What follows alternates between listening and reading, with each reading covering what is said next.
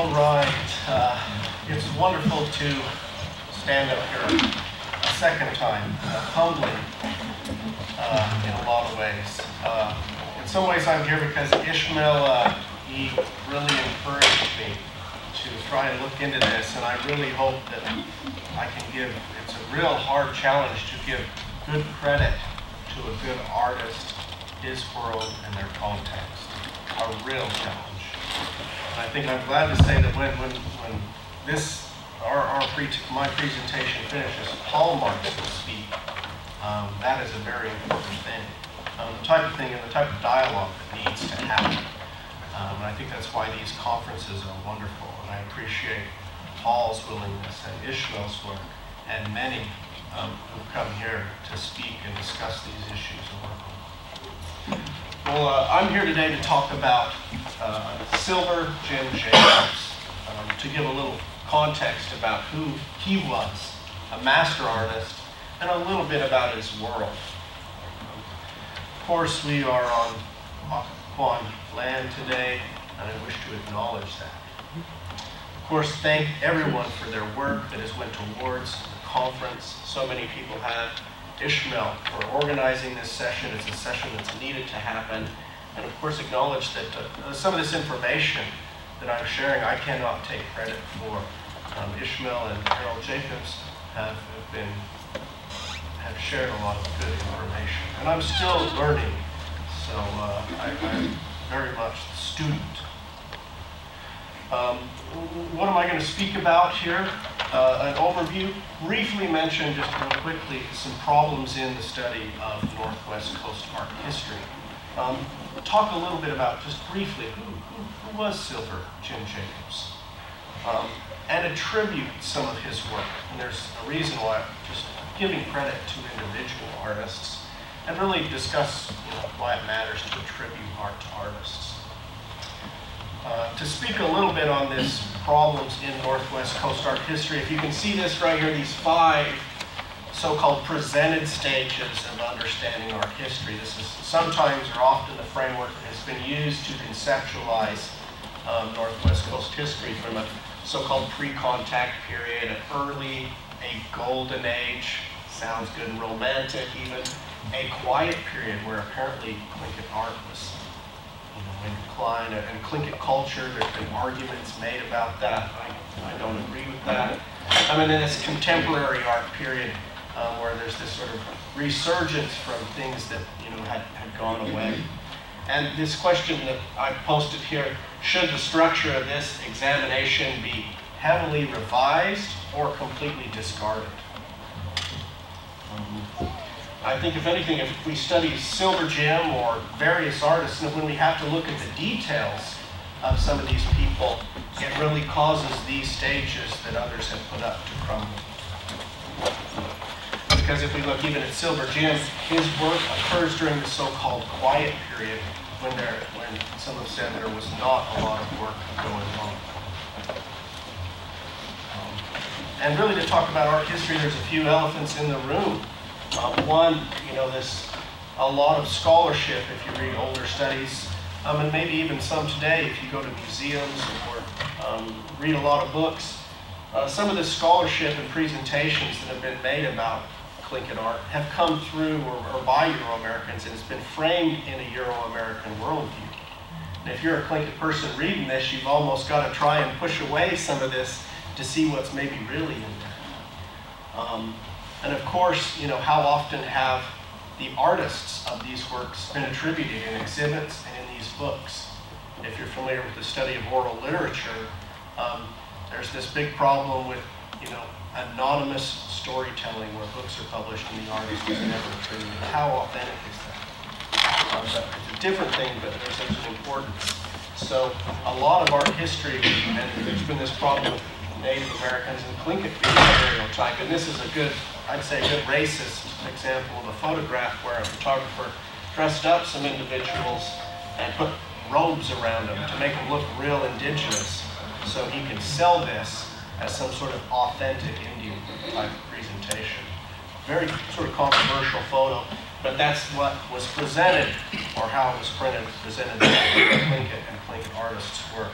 there is a real sort of sensitive and a real, you know, we have to get into these issues of race and culture to even talk about art history. Um, of course, again, you know, we need to, I would argue, as we talk a little bit more, to attribute artists. Um, I, really appreciate Ishmael and others who've encouraged these type of dialogues um, that, that, need to happen, especially have Paul uh, conclude here. Um, so maybe to get a little bit more, who, who was Silver Jim Jacobs? Uh, some of you I'm sure know, but he was born around 1846, died 1914. Um, he was a Koosk'eidí clan man um, of a X̱aas Hít or cow house in Sitka. Had uh, two Tlingit names.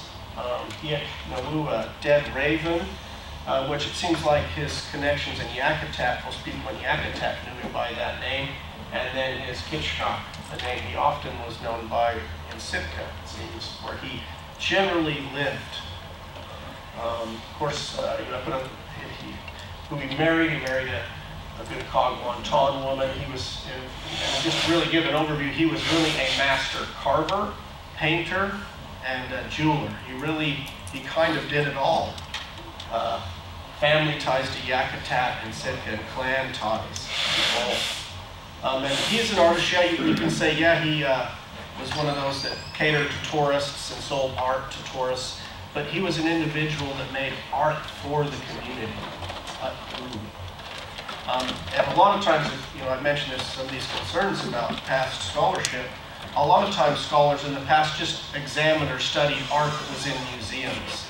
And then these scholars would sit and talk about this art, often without talking to the native community, and make all sorts of uh, assumptions in, in, a, you know, in a very ivory tower sort of room without really understanding or talking about what art was. A lot of these pieces he made, it wasn't just art in the Euro-American sense where it sits on the wall like a nice painting. These pieces have great meaning. Uh, there's spirit, there's a deep tie, and that's a, a big presentation which others um, I'm sure are always talked about. Um, these pieces have great significance. Um, of course, you know, it is important to mention, not a big focus, yeah, he did, um, did produce art for tourists, oftentimes jewelry, and was considered by many at the time when he was working in Sitka as the best jeweler. That's what people said.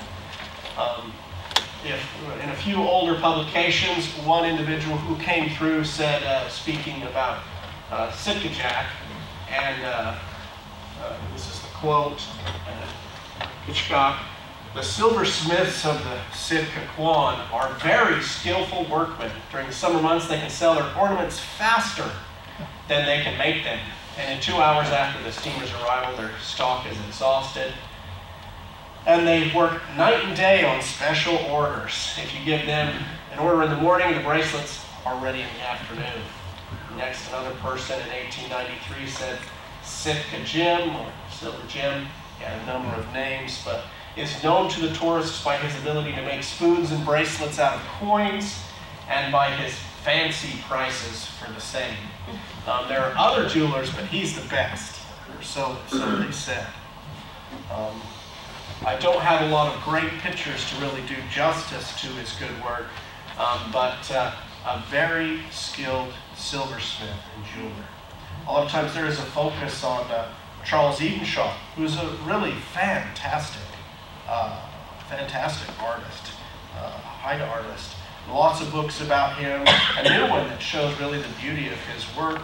Um, but I think we could easily have a Silver Jim Jacobs um, book that does a similar type of thing.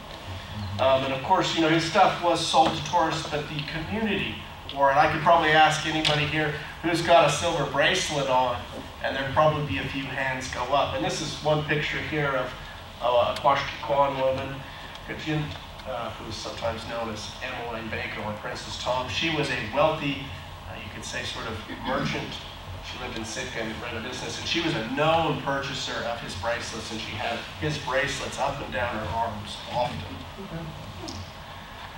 Uh, and maybe to talk a little bit more about Silver Jim, um, you know, not the producer of just tourist. This is a picture of uh, the, what was called the Sitka Indian Village. Circa 19, late 1904 or early 1905. And if you were to walk down Sitka, the, the street, you could see some of the monumental pieces that he had produced.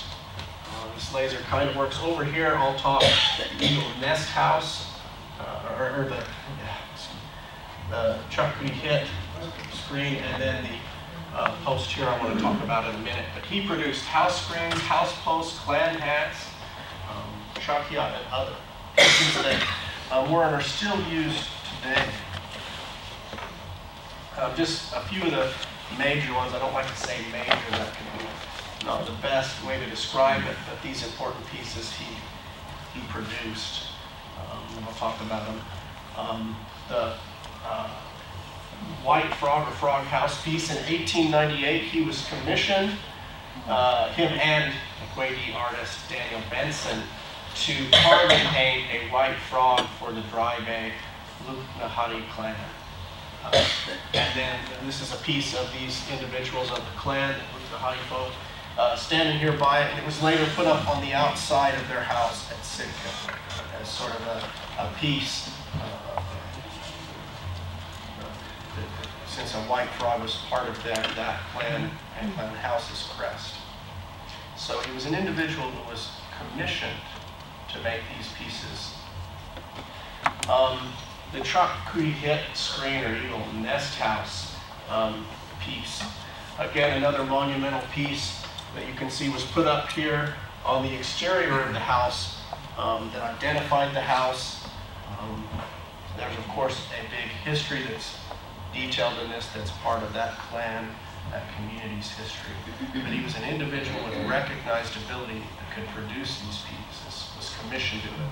And if you wanted to get into some sort of, I'm not a big uh, art, you know, analysis person, but you can see he has a very defined style, very bold style in way, if you look at the way uh, his pieces are.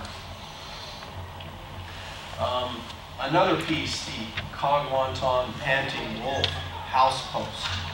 Um, he was commissioned at the large 1904 Ku.éex' um, that the Kagwantan had put on. Um, they commissioned him, this is some of the commissioners standing next to the piece when it was produced. Uh, a real magnificent piece. Um, and I, you'll notice I said the 1904 Ku.éex'. Sometimes that's called the last great potlatch. I want to come down or come back to that so-called idea of last. Uh, and then there was this canoe in Sitka. Uh, still trying to figure out a little bit about it, but it does seem to have been a Haida canoe, but painted by Silver Jim. Uh, that's at least there's been some attribution by Emmons and others, and his the way he did some of his work and the bold lines on it. Um, apparently, this I believe this piece was picked up by Governor John Brady and in Sitka for a time. But maybe to move a little closer to uh, Yakutat, he had a real close connection, and he was commissioned to a number of monumental pieces for folks in Yakutat. Um, the 1904, there's this so-called last great potlatch. I really dislike that term. It's such a misnomer. Of course, in 1905, after the so-called last great potlatch, in Yakutat, there was a huge, a whole year nearly, of people hosting um, ceremony where a number of monumental art pieces were produced and put up in houses um, all across Yakutat. And this is just one of them. This one was produced by Silver Jim, uh, the Tequati Gijook screen or Golden Eagle screen, and this is it, just sitting up before the event. Uh, the initial picture, which I'll show again, is the one that shows him actually standing there working. Yes, on sir. it. This is the picture of him standing here painting it. Um, and again, there was that frog I mentioned previously. Um, it, it, it didn't survive the times, but it does seem that in, uh, when, in 1905, as things were, you know, Yakutat was having all these events, they asked him to create another um, and really, to really bring it to close, I want to save some time for Paul. He did create other pieces of, uh, such as the mouse hat uh, and this Thunderbird hat. Um, again, why, why is it important to give attribution? Um, It break down, breaks down past scholarship. It acknowledges a lot of important things. It it gives acknowledgements to clans, their histories, crests, intellectual properties of clans, and details aspects of sovereignty. And attributing an artist contributes to these concepts of, I think it, respect, that big word of respect. Sheesh. Jeez.